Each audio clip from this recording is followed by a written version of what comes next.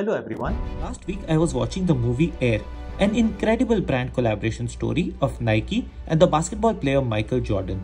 Nike, which was undergoing financial troubles, had slow sales and was struggling to expand beyond the running shoes to other sports like basketball. This one brand collaboration changed the fortune of Nike and is now considered as one of the most iconic and influential partnerships in the history of sports, fashion, and marketing. Do you know what's even more interesting? This historic collaboration happened 40 years ago on this exact date, or the date I'm uploading this video. Now, this got me thinking which shoe brand in the last 5 years has pulled off something as transformative and as iconic in the sneaker world? The answer is New Balance. New Balance has become cool and fashionable in the recent years because the biggest celebrities in the world have started wearing them. But if you think it's a relatively new brand, you would be shocked to realize that New Balance is older than Skechers, Nike, Reebok, Adidas, and Puma. Basically, all the brands that are popular today all this sudden craze of New Balance can be attributed to one strategic collaboration. This one strategic collaboration solved the same troubles of New Balance that Nike faced before its partnership with Michael Jordan. But as your better company, I will tell you not just about this collaboration, but also how, as business students and new entrepreneurs, you can also leverage these strategies right now and build a successful brand and a profitable business. Also, Please watch this video till the end because I have a special gift for each and every one of you. So, let's discuss the RRR or Rollout, Rise and Rule of New Balance. Friends, do you know what Gorpcore is? Now, understanding this Gen Z fashion buzzword is the key to understanding the love for New Balance in the market. Don't worry, I'll explain its meaning in a very, very easy language. Now, adding the suffix core to any word is a Gen Z way of saying that they are absolute or core fans of that particular fashion aesthetic. Remember, like the word hardcore to show that you are strong fans of something or hardcore fans. So, when the Barbie movie came out in 2022, the pink aesthetic became viral across Gen Z as well as celebrities. And this fashion trend was called Barbie core. Similar fashion trends like royal core or cottage core also gained some popularity.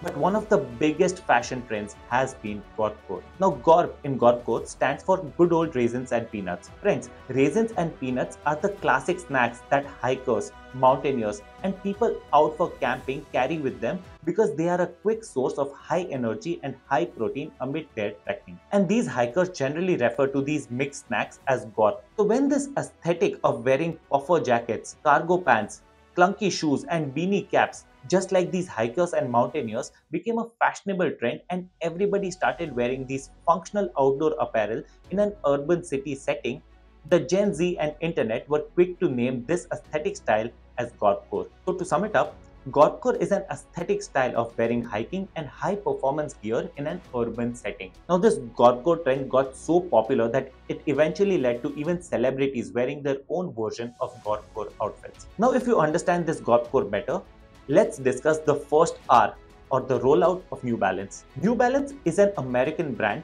that was started by an Irish immigrant, William J. Riley, in 1906 as the New Balance Arch Support Company. So initially, the company only made the arch support that goes inside of footwear to provide extra padding under your feet arches to help maintain your feet in an ideal position. In short, provide the New Balance. However, New Balance made their first pair of shoe in 1938. Now, all through 1940s to 1970s, New Balance was the most popular shoe option among athletes due to its superior arch support and comfort, commitment to quality due to small-scale manufacturing, and a made in USA tag boosting the brand's image and popularity during that time. However, the 1980s and 1990s were a game changer. Another American brand took the market by storm with aggressive marketing, innovative business strategies, and multiple sports partnerships. The most famous one being the Nike and the Michael Jordan collaboration. Now, at the same time, New Balance, on the other hand, decided to take the company in a completely different approach of not sponsoring any athletes and spending minimal amount of marketing budgets. In fact, they released an ad campaign called Endorsed by No One to highlight this approach and continued to rely only on these three factors to work for them. Now, it is important to understand that while they were not wrong to rely on these three factors to work for them, it was just not enough to compete against the aggressive marketing approach of Nike hmm. as well as the other brands in the market like Adidas and Converse. Now, New Balance sailed through the years with decent business and market share. But due to minimal spending on marketing and sports and partnerships, the target market of New Balance shifted from athletes and young people to the older generation. So New Balance got around to being called dad shoes.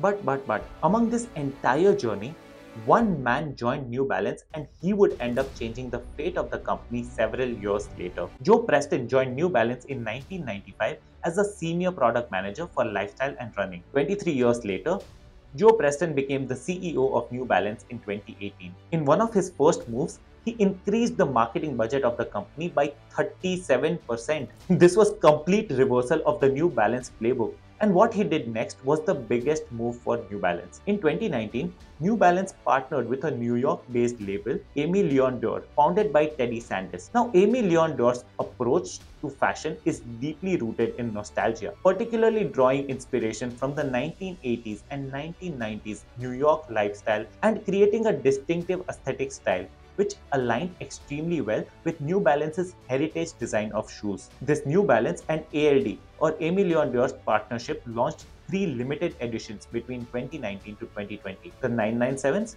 the 827s, and most importantly, the New Balance 550s. These limited editions became extremely popular among celebrities and TikTok influencers that they created a halo effect, which in this context means success of one product creates a perception of a successful brand. So everyone wanted to buy the New Balance shoes and the limited edition ones increased the sale of these regular 997, 827 and 550 models that sold at one third the price of these original limited edition shoes. Hence, the rollout of New Balance and Aimé Leon Dore's collaboration led to a massive surge in the sale of New Balance shoes and led to a 20.5% year-on-year sales growth. Now, if you understood how the rollout of New Balance and ALD collection shot up the sales of shoes, let's talk about the rise of the gorpcore trend. You already know that a gorpcore aesthetic mostly consists of puffer jackets, cargo pants, clunky shoes, and beanie caps. Let's focus on the clunky shoes. With the rise of style trendsetters like Hailey Bieber, Emily Ratajkowski, Ryan Reynolds, and even Taylor Swift adhering to the gorpcore aesthetic,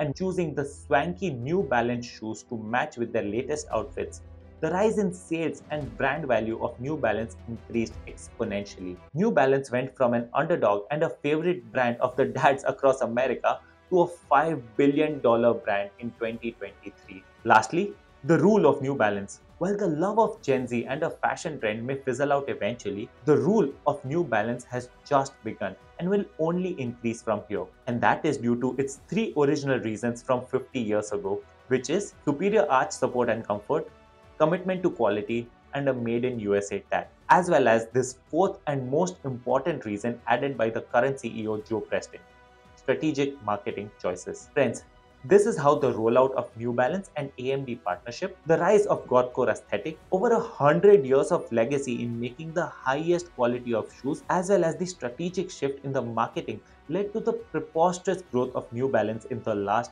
five years. Now, before we move on to the business lessons, I want to share a special gift with each and every one of you. As your better company, I have added the presentation that you see during this video in the description below. You can save it for your self-study or even refer back to it as you develop your own understanding and ideas. Now moving on to the business lessons. First, if you want to build a brand in 2024, you have to focus on brand collaborations that are authentic and align as closely as possible with your brand's mission. When Tim Hortons, the largest coffee chain in Canada, wanted to connect more with the youth of the country, they brought in Justin Bieber as their brand ambassador and even launched a product, Tim Biebs, around this collaboration. Now, as much as this collaboration was because of the virality of Justin Bieber's music, the success of the collaboration can be attributed to the fact that Justin is born and brought up in Canada and has endorsed Tim Hortons as his favorite coffee long before he was ever brought on board as a brand ambassador. A well aligned partnership can give you access to new markets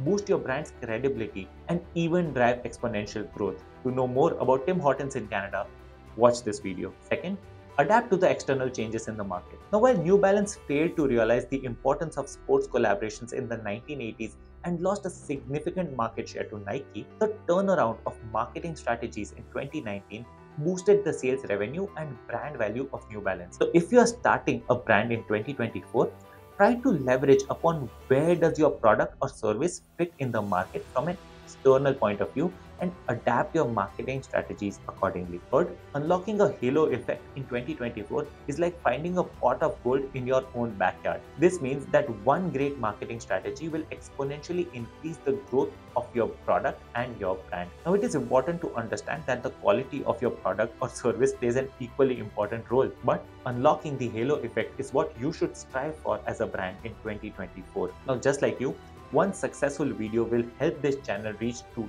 10 times or say even 100 times more people. So please like the video, share it with your friends and please hit the subscribe button for many more interesting business case studies. Thank you so much.